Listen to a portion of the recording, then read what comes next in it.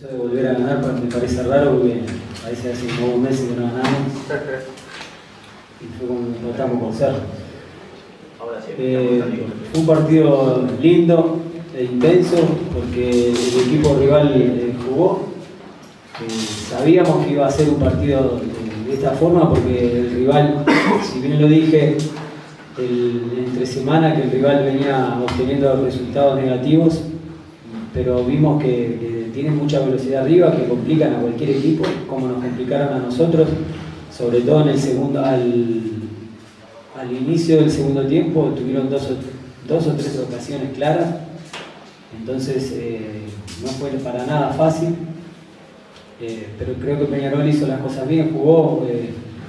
eh, me gustó y sobre todo me gustó la actitud del equipo, que es lo que más le pedí,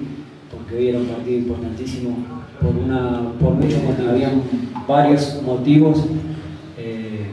para, para, presentarnos bien en este partido con la cabecita eh, pensando en River,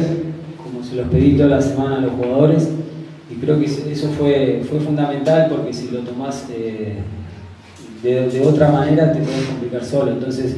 creo que eso fue fundamental y, y también después poder dar minutos a, a Gargano que lo, los necesite y, y mejor aún con el resultado. Yo se lo dije a los jugadores antes de, de venir al, a la cancha que eh, teníamos por delante una semana importante, importante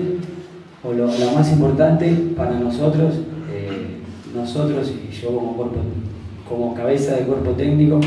es algo que disfruto, que me gusta, que, que nos ilusiona a todos y nada, a pensar ahora en lo que, lo que se viene más próximo, que es el partido de Flamengo,